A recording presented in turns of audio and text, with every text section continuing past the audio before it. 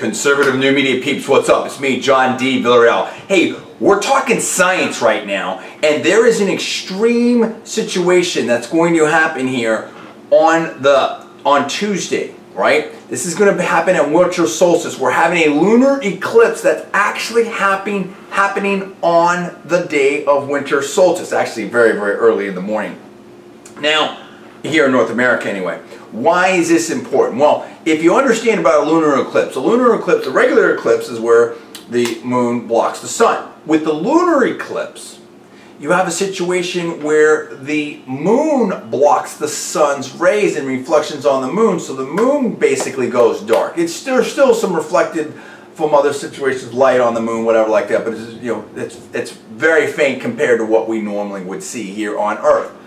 Now, with winter solstice, here in the um, northern hemisphere, that is the darkest day of the year. So now you have this thing happening at night on the darkest day of the year. You've got the moon blacked out. It is theoretically, potentially, the darkest day um, in how many you know hundreds of years. In fact, NASA has said that this thing hasn't happened, a new lunar eclipse on the winter solstice since 13 what 78. That's incredible. I mean, this thing we're talking about like once or twice a millennium.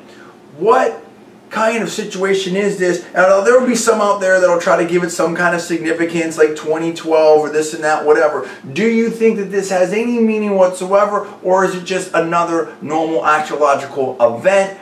Um, will people have parties because of this? Are people going to be interested? Are you going to try to stay up and watch the lunar eclipse? If you were to do that, you need to stay up somewhere around 1 to 1.30 uh, plus a.m uh, here in North America. I think it's interesting. I love stuff like this. I don't think it means anything other than it being a cool scientific event, but we know how people in pop culture like to hype things up and stuff like that. But it's very interesting. Uh, I may even have to stay up and check it out, get a get the little telescope or binoculars in the in the mix. You tell me what's going on. Do you like it? Do you think it's cool? Are you going to stay up and watch it?